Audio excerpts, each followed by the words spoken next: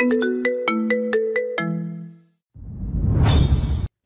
যে চুল টানলে, দেখো কতগুলো চুল উঠে গেছে। এইভাবে টানতে থাকলে একদিন আমি টেকো হয়ে যাব। পরে সবাই তোমাকে টেকোর বিবি তুর বলে ডাকবে। অবশ্য এতে আমার আপত্তি নেই।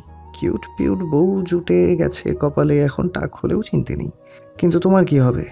সকালে ঘুম থেকে উঠানোটা বড় ব্যাপার ছিল না। আসল সমস্যা লিসা নামটাই। ঘুমানোর সময় আনন্দ বলেছে সকালে হসপিটালে যেতে হবে। ডাক্তার লিসার সাথে একটা রুগী দেখবে। ব্যাস এরপর থেকেই তোর ফুলছে। রাত থেকে এই অবধি যতটা রাগ ছিল সব চুলের উপর ঝেড়েছে। আনানার কথা শুনে তোর মুখ ফুলিয়ে রেখেই বলল তাতে আমার কিছুই না। যান আপনি বরং হসপিটালে যান আমার চুল বাঁধতে হবে। তুরের কথার উত্তরে আনান বলল বুঝবে বুঝবে সবই তোমার সেটা পরে বুঝবে। আমি আগেই বুঝে গেছি বউ আমার তাই চুল বেঁধে দেওয়ার দায়িত্বটাও আমার। ফোঁস করে নিঃশ্বাস ফেলল তোর আপাতত কিছু বলার নেই। ঘুম আসছে তার। ঘুমটা লিসা নামটা দুঃখেই আসছে। চুল বাঁধা শেষ হতে আনান উঠে ওয়াশরুমে ঢুকে পড়ল। তোর পুনরায় বিছানায় মুখ ঢেকে শুয়ে পড়ে। চোখে ঘুম থাকলেও মন আর মস্তিষ্ক আলাদা সিগন্যাল দিচ্ছে তোরকে। তোর কিছুক্ষণ শুয়ে উঠে পড়ল। এর মধ্যে আনান তাড়াহুড়ো করে শাওয়ার নিয়ে বেরিয়ে পড়ে। তার যেন দাঁড়ানোর সময় নেই। চেঞ্জ করে আয়নার সামনে দাঁড়িয়ে চুল ঠিক করছে। তোর বিছানায় হেলান দিয়ে আনানকে দেখছে আর ভাবছে জ্যোতি আপু ঠিকই বলেছে পুরুষ মানুষ ছোচা হয়। সত্যি বুঝি জামাইটা হাতের মুঠোর বাইরে চলে গেছে? আনন্দ চুল সেট করে পারফিউমের বোতল হাতে নেয়। এর মধ্যেই তোর তীক্ষ্ণ চোখে তাকিয়ে বলল এত সেজে গুজে প্যাকেট হয়ে কোথায় যাচ্ছেন? মনে তো হচ্ছে না হসপিটালে রোগী দেখার জন্য যাচ্ছেন মনে হচ্ছে মেয়ে পটানোর কাজে যাচ্ছেন। আনান খুব কষ্টে হাসি চেপে রাখল তুরের মুখটা দেখার মতো। আনান বিনা বাক্যে মোবাইল হাতে নিয়ে রুম ছেড়ে বেরিয়ে পড়ল। তুর আনানে যাওয়ার দিকে হা করে তাকিয়ে আছে। আজ ওরা বদল মেনে নেওয়ার মতো না। সত্যি সত্যি হাতের বাইরে চলে গেছে? এদিকে আনান রুমের বাইরে গিয়ে হেসে কুটি কুটি হচ্ছে। জ্যোতিকে কিচেন থেকে টেনে বের করে রুমে নিয়ে এলো তুর দুজনের গোল টেবিল, বৈঠক চলছে। কাল থেকে আজ অব্দি যা যা ঘটেছে সব বলা শেষ করে চুপচাপ বসে আছে তুর জ্যোতি তার হাই কোয়ালিটির ব্রেন কাজে লাগিয়ে দুইয়ে দুইয়ে চার না করে বাইশ বানিয়ে ফেলেছে। চেয়ারে হেলান দিয়ে চিন্তিত ভঙ্গিতে বসে বিজ্ঞ ব্যক্তির মতো বলল সব শোনার পর আমার খুব খারাপ লাগছে তোরাপা স্যারকে আমি কখনো এতটা ছোঁচা ভাবিনি। তোমার মতো সুন্দরী বউ রেখে শেষমেশ কিনা লিসা? তোর মাথা নেড়ে বলল হুম লিছা সেও নাকি ডাক্তার। কিসের ডাক্তার? সাপ বলো সাপ। এমন মেয়ে মানুষ সাপ আর ডাইনিই হয়। তুমি তোমার জামাইকে বশ করো হাতের মুঠোয় নাও। শোনো আপা বিয়ের পর মেয়েদের শেষ ঠিকানা জামাইয়ের জামাই আর তার ঘর সংসারই হয়। জামাই ছাড়া জীবনে কিছুই নেই। তোর ভারাক্রান্ত মন নিয়ে বলল কিন্তু এইটা তো শ্বশুর বাবার ঘর। জামাইয়ের ঘর তো নেই? জ্যোতি নিজের মাথায় নিজে চাপড়াতে চাপড়াতে বলল আরে একই কথা। তোমার শ্বশুর মরলে এটা আনন্দ স্যারের। তার মানে এটা তোমার জামাইয়ের ঘর? তোর মাথা নেড়ে বলল বুঝতে পেরেছি। জামাইকে বশ করো হাতের মুঠোয় নাও। দেখবে সব ঠিক হয়ে যাবে। তোর চিন্তিত গলায় বলল বশ করতে তান্ত্রিক লাগে না? তোরের কথা শুনে জ্যোতি পারছে না কেটে ভাসাতে। জ্যোতির ধৈর্য অবশিষ্ট নেই।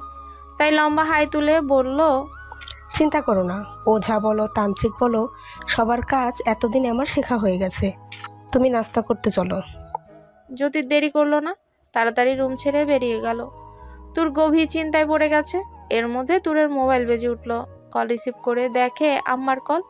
নতুন নাম্বার দেখে প্রথমে না চিনলেও গলার আওয়াজে মাকে চিনতে দেরি হলো না। মায়ের গলার আওয়াজ শুনে অভিমানে মুখ ভার করল তোর। মেয়ের কণ্ঠে অভিমানী স্পষ্ট। মাদার ক্রিস্টোফার মমতা জড়ানো গলায় বলল আমার মা রাগ করেছে? তোর? হুম। তাহলে নিশ্চয়ই অভিমান? হুম। মাদার ক্রিস্টোফার ভেজা গলায় বলল আই মিস ইউ তোর। বাদ ভাঙলো দূরের ফুপিয়ে কেঁদে উঠল। মাদার ক্রিস্টোফার নিজেও কাঁদছেন। মা মেয়ের বিচ্ছেদ এতটা লম্বা হবে কখনো ভাবেননি তিনি। মেয়েটাকে ছাড়া কীভাবে আছেন সেটা শুধু তিনিই জানেন। চোখ মুছে নিজেকে সামলে নিয়ে বলল কাঁদতে হয় না মা তুই কাঁদলে আমার কষ্ট হয়। তোর হেঁচকি উঠা গলায় বলল আমাকে নিয়ে যাও আম্মা। আমার তোমাকে জড়িয়ে ধরতে ইচ্ছে করছে। মাদার ক্রিস্টোফার ফট করে কল কেটে দিলেন। মেয়ের এমন কথা তার হৃদয়ে ক্ষতের সৃষ্টি করছে। তিনি কল কেটে চিৎকার করে কেঁদে উঠল। নান জেনেবা দৌড়ে এলো। মাদার ক্রিস্টোফার কাঁদছে। তার এই কান্না আহাজারিতে জেনেভার চোখ ভিজে উঠল। জেনেভা মাদার ক্রিস্টোফারকে জড়িয়ে ধরে সান্ত্বনা দিতে লাগল। তু টেডি বিয়ারটা নিয়ে মিনি টেরেসে ডিবানের উপর বসে আছে। কান্নার ফলে চোখ মুখ লাল হয়ে ফুটে উঠে, ফুলে উঠেছে তার। মোবাইলের টুং টুং শব্দে চোখ শুনে চোখ মুছে মোবাইল হাতে নেয়। আনানের নাম্বার থেকে হোয়াটসঅ্যাপে মেসেজ এসেছে। তোর মেসেজ ওপেন করে দেখে ছোট্ট একটা বাচ্চার ছবি। তোর দু চোখ ভালো করে মুছে খুঁটিয়ে খুঁটিয়ে ছবিখানা দেখল। এর মধ্যে আরও একটা মেসেজ যেখানে লেখা, প্রিটি বেবিটাকে কোলে নিবে? তোর মেসেজে রিপ্লাই করল না, বরং মেসেজটা দেখে স্টেলার নাম্বারে কল করল। প্রথমবার কল কেটে দেয় স্টেলা। কল কাটার পর আননোন নাম্বার থেকে কল আসে। তুই রিসিভ করে কানে চেপে ধরে। অপর পাশ থেকে স্টেলা হড়বড়িয়ে বলল এটা আমার নাম্বার আগেরটা চোর নিয়ে গেছে। ওইটাতে কল দিবি না বুঝেছিস? তুরের উত্তরের অপেক্ষা না করে কল কেটে দিল স্টেলা। তোর দাঁতে দাঁত চেপে মোবাইলের দিকে তাকিয়ে আছে। তখনই হোয়াটসঅ্যাপে ভিডিও কল আসে। তুই রিসিভ করে দেখে স্টেলা আর ক্যাথি। তোর রেগে হিসিসিয়ে বলে স্টিলার বাচ্চা কথা না শুনে কল কাটলি কেন? আরে ইয়ার মোবাইলে টাকা শেষ হয়ে যাচ্ছে তাই।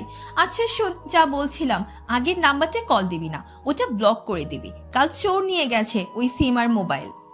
ক্যাথি চুপ করে দুজনের কথা শুনছে। ক্যাথি এটা বুঝতে পারছে না মোবাইল চুরি হলে তার সাথে সিম তো চুরি হবেই। এতে সিম আর মোবাইল বলার কি আছে? তোর ব্রজরা গুটিয়ে বলল ইন্নানিল্লা এই জন্যই কল কেটে গেছে? হ্যাঁ এই জন্য কল কেটে গেছে। তাই তো তাড়াতাড়ি করে এটা থেকে কল দিয়েছি। তোর মাথা নেড়ে বলল বুঝতে পেরেছি আজ থেকে এটাতে দিব। ক্যাথি হাসবে না কাঁদবে সেটাই বুঝতে পারছে না। একটা ঠিক করে মিথ্যাও বলতে পারে না অন্যটা সেই মিথ্যা ধরতেও পারে না। জিসেস কোন কুক্ষণে এদের বানিয়েছে তিনিই জানেন। ক্যাথি মুচকি হেসে বলল কি অবস্থা তোর? তোর মুখ বাঁকিয়ে সকল অবস্থার কথা পুনরাবৃত্তি করল। এইবার বল এখন আমি কীভাবে বশ করব। ক্যাথি পুরোটা শুনে বলল গাধার মতো কথা বলিস না। কিসের বস স্টেলা কথা কেটে বলল গাদি হবে তোর মেয়ে। ক্যাথি পারলে এক্ষুনি মোবাইলের ভেতর ঢুকে স্টেলাকে মেরে দেয়। ক্যাথির কথা শুনে তোর বলে আরে তুই জানিস না বিবাহিত মেয়েদের শেষ ঠিকানা জামাই আর তার ঘর সংসার হয়। জামাই ছাড়া জীবনে আর কিছু নেই তাই বশ করতেই হবে হুম। শোন তোর তুই কেথির কথা শুনবি না। আমি বলছি আমি বস করায় তোকে সাহায্য করব। তার আগে ওই নাগিনীর ঠিকানা খুঁজে চুল ছিঁড়ে ফেলতে হবে। কত বড় সাহস। আমার দুলাভাইয়ের দিকে নজর দেয়। তোর পুরো উদ্যম নিয়ে বলে? ঠিক বলেছিস ওই ডাইনি আমাদের দুলা ভাইয়ের দিকে নজর দিয়েছে। ওর চুল ছিঁড়ে টাক করে দেওয়া উচিত। তোরের কথা শুনে ক্যাথি চোখ বন্ধ করে ফেলল। কাকে কি বুঝাবে? জামাইকে দুলাভাই বলছে আবার হাসছে আবার আসছে জামাই বস করতে। হাহ। স্টেলা আফসোসের সুরে বলল আরে পাগলি তোর জামাই আমার আর কেথির দুলাভাই ও সরি ভুলে বের হয়ে গেছে। ক্যাথি দুইটাকে থামিয়ে বলল তোর হয়তো দুলাভাই তোকে জ্যালাস ফিল করাতে চাইছে। এত সিরিয়াস হওয়ার কিছুই নেই। তোর মাথা নেড়ে বলল মোটেও না কিসের জেলাস ক্যাথি চিন্তা ভাবনা করে বলল ঠিক আছে আমি আর স্ট্রেলা কাল আসব। আপাতত কিছুই করবি না। আর এইসব বস হাতের মুঠো, এগুলো আর বলবি না। তোর মাথা নেড়ে কল কেটে দিল। আপাতত বসে বসে বাচ্চার ছবিটা বারবার দেখছে আর ভাবছে, বাই এনি চান্সে কিউট পিউট ছোট্ট প্যাকেটটা প্যাকেট করা নান রুটির নয় তো? আনান বাড়ি আসা মাত্র তুরের হাতে দুটো শপিং ব্যাগ ধরিয়ে দিল। তোর প্রশ্ন করবে তার আগে তুরকে তৈরি করতে, তৈরি হতে বলল, অগত্যা, তোর ওয়াশরুমে ঢুকে পড়ে। শপিং ব্যাগ দুটোতে কালো রঙের হুডি, মাস্ক আর হিজাব ছিল। তোর এইসব দেখে কিছুক্ষণ থম মেরে থাকলেও আনানের তারা দাওয়াতে চেঞ্জ করে বের হয়। আনান বিনা বাক্য বয়ে নিজেও চেঞ্জ করে নেয়। এর মধ্যে তোর হাজার খানিক প্রশ্ন করে ফেলেছে। আর করবে এই না কেন? লিসার সাথে ছোট্ট কিউট পিউট বেবির ভূতটাও মাথায় চড়েছিল যে, আনান খুব গম্ভীর মুখে তুরের প্রশ্ন এড়ালো। এতে তুরের রাগ বাড়লো বই কমলো না। তোর ফোঁস করতে করতে মাস্ক পরে হিজাব বেঁধে নিল। আনান তৈরি হয়ে তুরের দিকে কয়েক সেকেন্ড তাকিয়ে মুখ টিপে হেসে বিড়বিড়িয়ে বলল তুরজানকে একদম ছোট মাফিয়া লাগছে। তুর পারছে না আনানকে মেরে চুল ছিঁড়ে ফেলতে। বলা নেই ক নেই ডাকাত সাজিয়ে নিয়ে যাচ্ছে।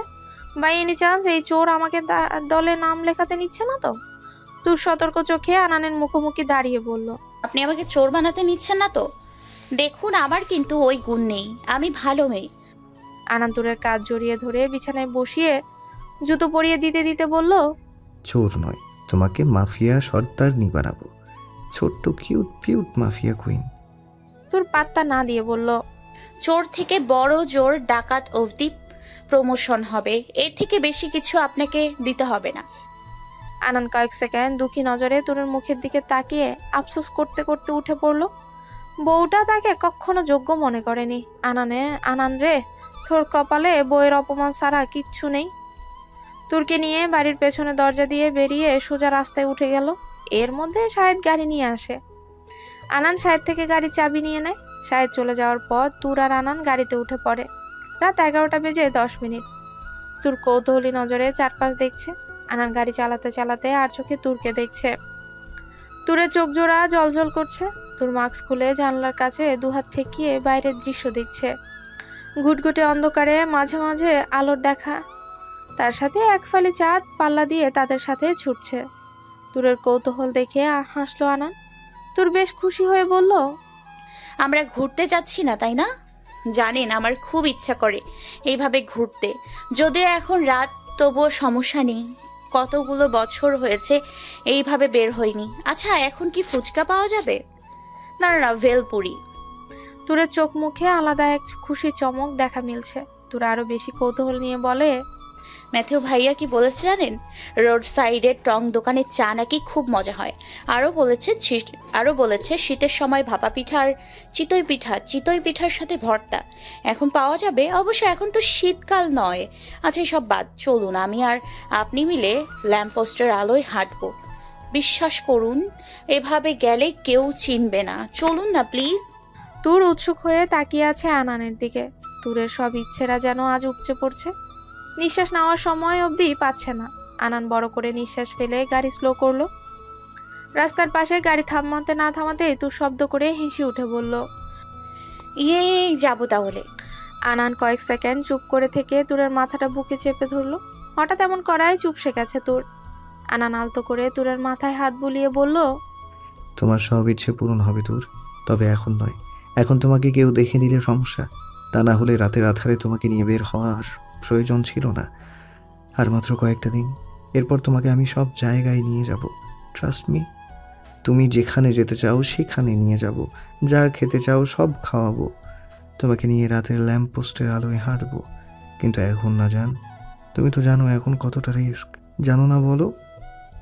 আনানের আদুরি গলায় বলা কথাগুলো শুনে তোর নরম হয়ে এলো।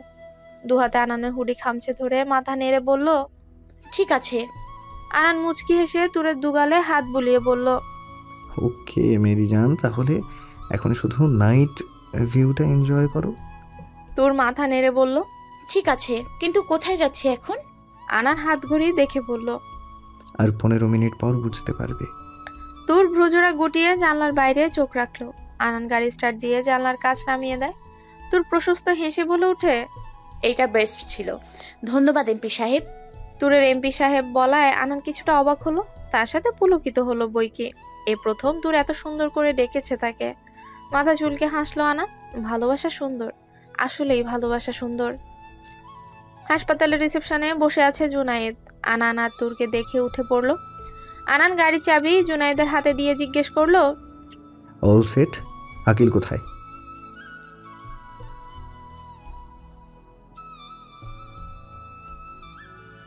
আনান তুরকে নিয়ে সোজা চলে গেল।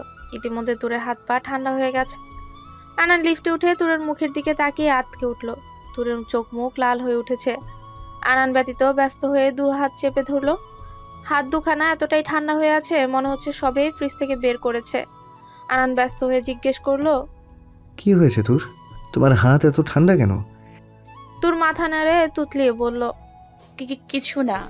হঠাৎ আনানের মনে পড়ল তুরের সাথে ঘটে যাওয়া ঘটনার কথা। যা হাসপাতালেই হয়েছিল। সেই হিসেবে তুরের প্যানিক করাটা স্বাভাবিক। তিনতলায় গিয়ে লিফট থামে। আনন্দ তুরকে বের করে নিজের কেবিনে নিয়ে যায়। তুর শক্ত হয়ে আছে। আনন্দ হাত দিয়ে তুরকে জড়িয়ে ধরলো। তুর ক্রমান্বয়ে কেঁপে চলেছে। আনান তুরের মাথায় হাত বুলিয়ে দিতে দিতে বলল কিচ্ছু হবে না, আমি আছি না। এটা আমার হসপিটাল। কারও সাহস হবে না আমার তোর জানের ক্ষতি করার। রিল্যাক্স। তোমার বর আছে। কিসের এত ভয়? বলো। আরেকটা কথা এখানে খুব ভালো ভালো ডাক্তার থাকে কেউ খারাপ নয়। শান্ত হও প্লিজ এমন করলে বেবি তোমার করে যাবে না। তোর মাথা তুলে তাকায় তোরের দু চোখ ছলছল করছে। আনন্দ তোরের দু চোখের পাতায় চুমু দিয়ে বলল ভয় পেলে চলবে না। হবু এমপির বউ ভীতু এই কথা